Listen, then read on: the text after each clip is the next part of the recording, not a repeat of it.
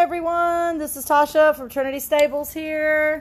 Um, we always like to share what's going on here at the barn, and we're going to see a lot more live streaming for us. A lot of you probably saw the announcement. We are officially a 501k. It is now happening. We are a nonprofit organization. We are out here to promote the mental health um, situation that's going on and help people heal their minds through the love and connection of horses and people and goats and rabbits and cats and all the other amazing animals that we have here at our farm. Um, other than sharing our good news about being a nonprofit, part of my reason for sharing this live stream today is to show y'all the amazing donation that we just recently had. These are boxes of brushes.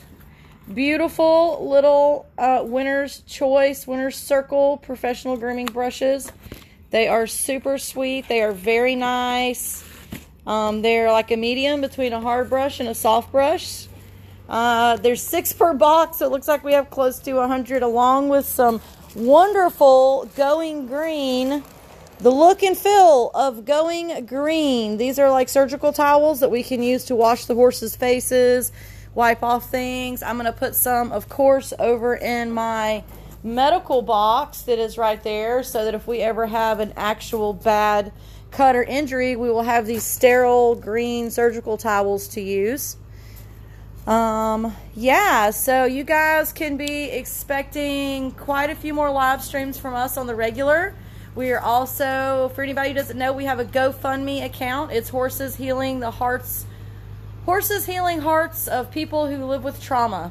And I think I may redo that name because it's kind of a mouthful to put out there. So it may just become TS3HI, uh, which is Trinity Stables, and 3H for Horses Healing Hearts, and I for Incorporated. So TS3HI. It's probably going to become our nickname, and I'm probably going to try to change the GoFundMe name if I can to make that easier for people to find and share. So, yeah, that's what's going on with us.